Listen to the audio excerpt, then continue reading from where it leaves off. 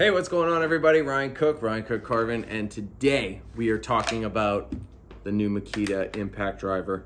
It is the 40 volt versus the 18 volt. Now, I'm a carver. I don't know a ton of stuff about this stuff.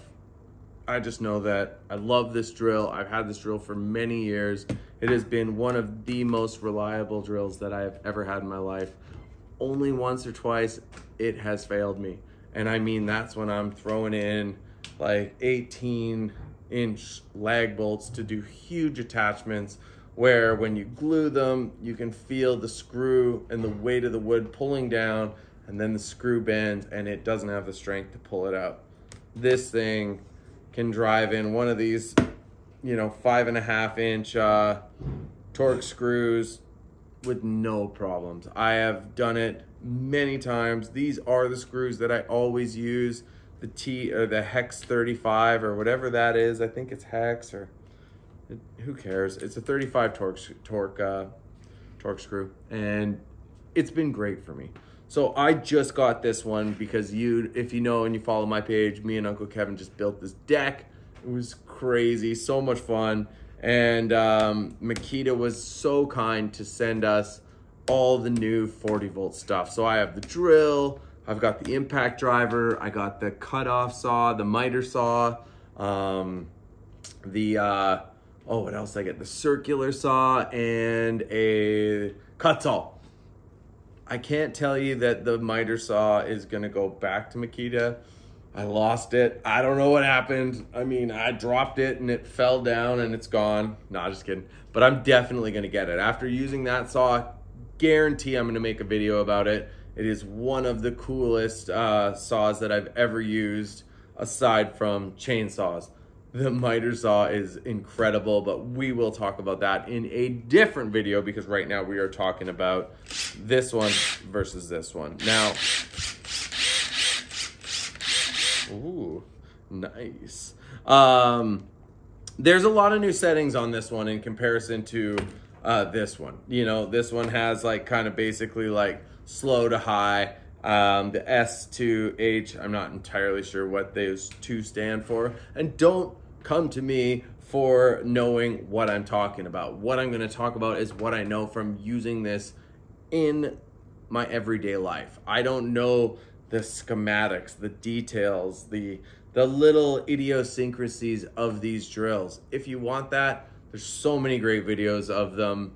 I'm only going to talk about it what it works for for me as a carver and we're going to race them. We're going to try them. We're going to see them. I've never put these two together. I just did get some swag, which is awesome. You know, Makita is one of my sponsors, but at the same time, they're not paying me to make this video and I don't know which one's gonna win the race. I don't know which drill is better. I can tell you this drill is awesome. It's light, it's uh, easy to travel with, it's easy to, you know, work with. This one's a little heavier, but this 40 volt, uh, you know, X, uh, no, what is it? XGT. I keep, I'm dyslexic, so it always goes XTG.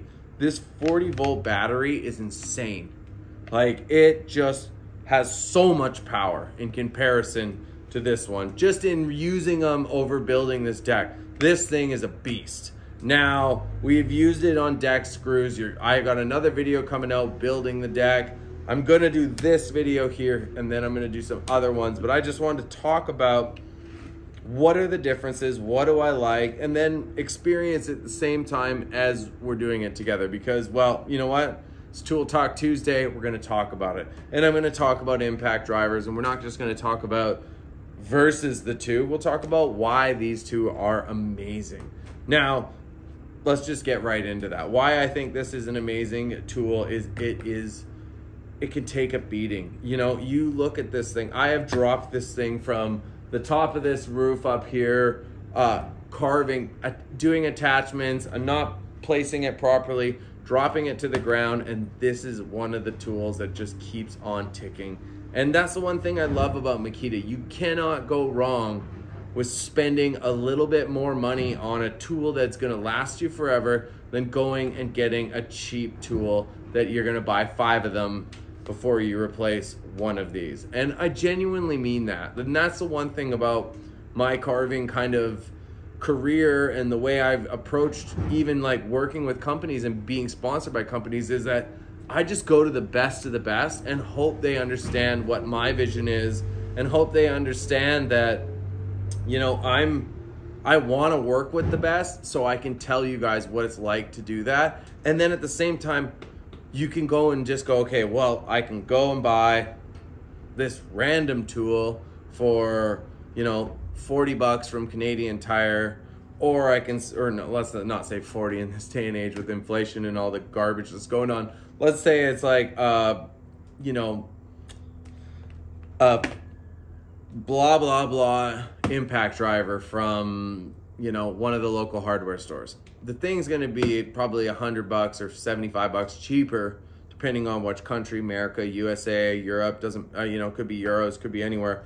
It's going to be cheaper. What you get when you buy makita or you buy other brands of the top brands you're going to get what you get because you're paying for it. Now, and I totally believe in that. And I have I've stood by that and that's something I'm very proud of when I rep companies and when I actually talk about them. You know, I genuinely believe that for me, Makita makes the best tools for carving.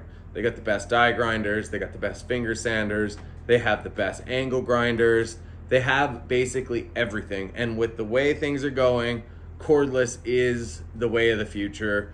Um, I fought it you know, I'm not to lie. I definitely still think that the GD800 uh, die grinder is 10 times better than the battery because it just has the power. Um, but the battery is really handy.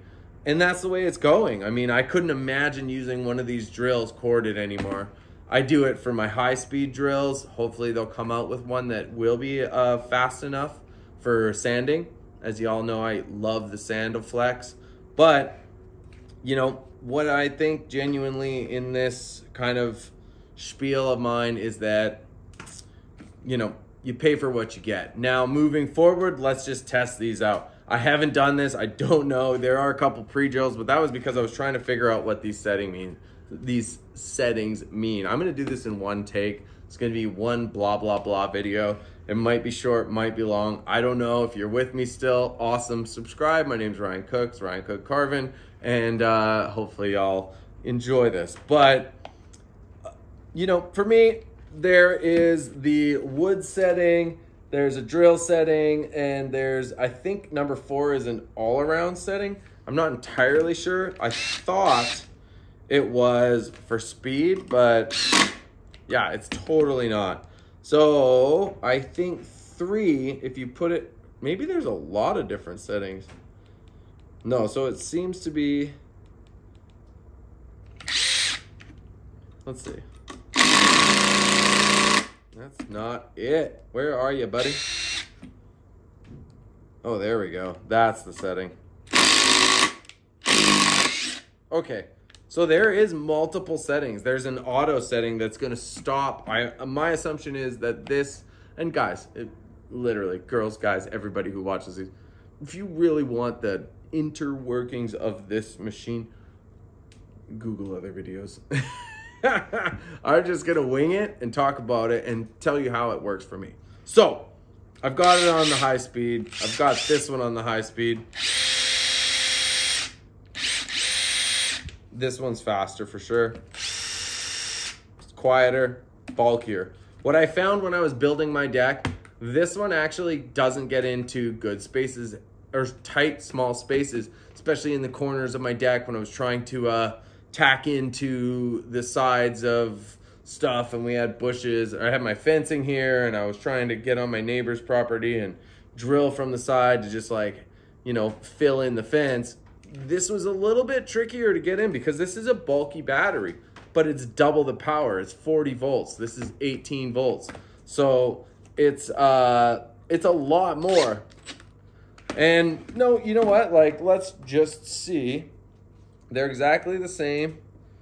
Oh, are they the same? Maybe not. Maybe that's why it was. Oh no, it's the same.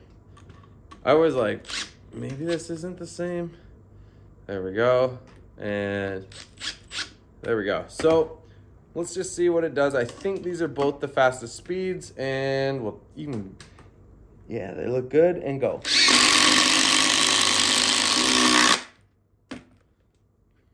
This one won by a hair. Now, there's it felt easier. It just pulled itself down where, let's pull them out. Is that the right way? I don't even know. That's the right. Okay, now they're both at the same and well, that one pulled it out quicker, which was nice. So you, you, you know, when you have these two amazing drills, I would I'm not surprised that either one of them is going to outperform one or the other. And I'm sure if I switched it up and did one here and you know one here and then maybe did this one, this one feels like it's down further, but it's not. And then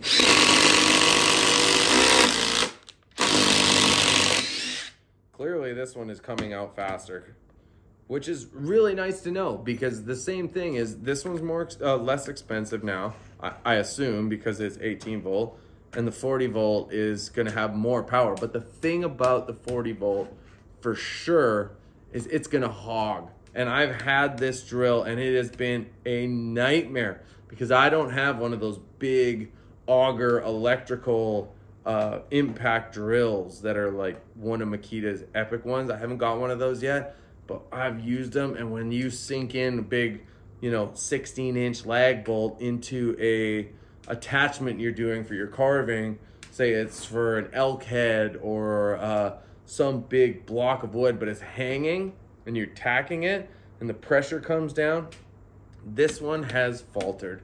And I've had to like cut them out, fill in stuff. I've had them in competitions. I can think about it in Chetwynd. I did a big uh, uh, uh, uh, uh, what was it? It was Poseidon. I think it was Poseidon that I did this attachment for the arms or something, some or some attachment where it didn't go in properly, and then I had to cut it out and fill it in and hide this whole thing because no one had one of those big auger drills, and this thing couldn't get the uh, attachment off. So you got to be really, really careful with those big bolts and know full well knowing that it's not going to probably be able to do it. But with these six to eight to 10 inch bolts, they'll, they'll hog them in, you know? And this one, I genuinely think, I don't know for sure, it's double the power. It's gonna, it's gonna push them in. There's just no ifs, ands, or buts about it. They wouldn't make something that's gonna do it. And if we get the chance, we will. And then with this, I was thinking we could do, you know, boring holes. Let's see what it's like when you do this.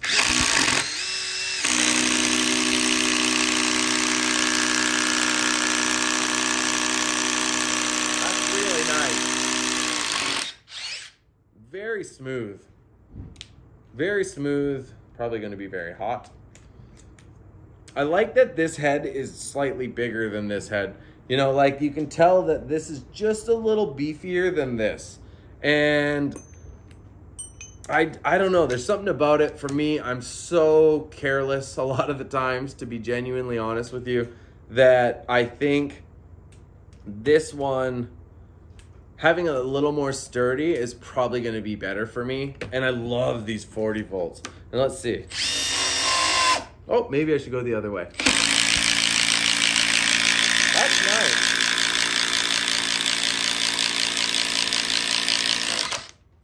Now that's nice. I mean, they're both very similar in their, you know, driving in. They're both very similar. And I have watched in videos the uh, they some of the videos that I saw that this one worked better for cement, but when it came to it, this one was the best for wood. And I do think that like if it was up to me, I'm pro I'm gonna go grab one and I'll continue talking. I'm gonna grab one of the big big uh well this is uh maybe a nine and a half, ten inch 10 inch lag. And we'll just have a have a look and we'll see what it's like. And do it on an angle too, because I'm going down with the grain. So going down with the grain, you're kind of ripping with the wood. We're using cedar, so it's a super soft wood. Um, so you never know. Like when you get into those hardwoods, you have to really be aware of this one may not perform as good. And it all depends on the wood that you're using. I always use cedar. So just remember that, like you, you especially if you're carving. So let's see.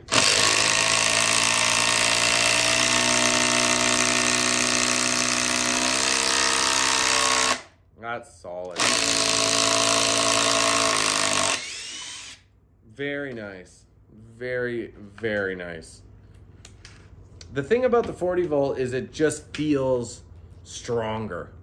This is a great durable drill. Like it's not like one's like this is a bad drill. This has been the drill I've used for the last you know, uh, eight years, nine years, and this has been my only option. I love this drill, but I just genuinely think that this is a little bit more strong. It's stronger. Like it's double the power, but it is like more stability. It feels beefier. It's got a better kind of feel for it. And if you're just doing this attachment like this, I think this is this is a nicer feel.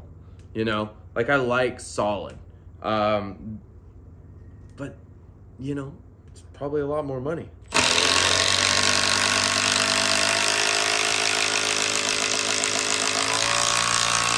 See, I can feel at the end now that that thing's starting to get deep that it's starting to slow down. It was not the same. It felt it felt faster in the beginning, but I could feel it starting to lag as it went in. I'm gonna see if I got a bigger bit, just because now I'm genuinely curious. So hopefully you guys are still here. But uh, let's see. Do I have something long? There we go. Now I got one bigger. Right? This is bigger. Yeah, double the size. So, or not double, double the size. Come on, Ryan. This is probably, I would say, almost about 12 inch. Let's see how this goes.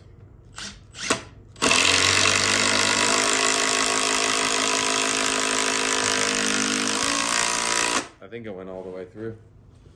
It sure did. So it went through into the other log which is not good because I got a carved bear in the next one. But you can feel it's uh, it's it's a little bit struggling at the end as it gets further. I would I would genuinely say you can feel it start to kind of struggle a bit and try and do it at the same angle.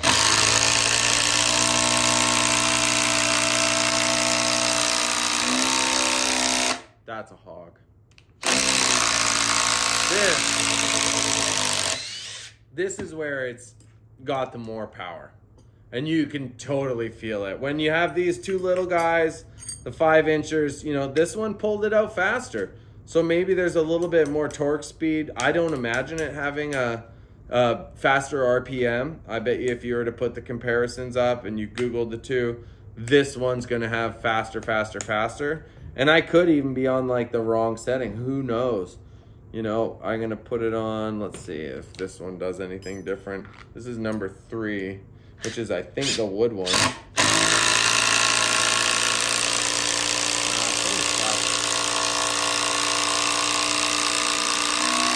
It's just nice.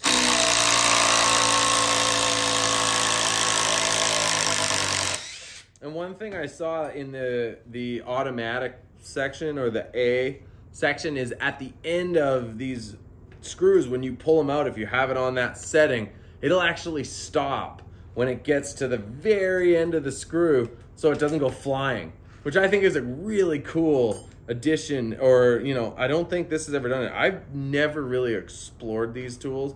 I just wanted to give you just my general thoughts on comparison which i've said already but you know you're still here this is a long video about talking about drills. So when it really breaks down to which one I would choose in moving forward, I have a lot of batteries with the 18 volts, so it's going to be hard to convert.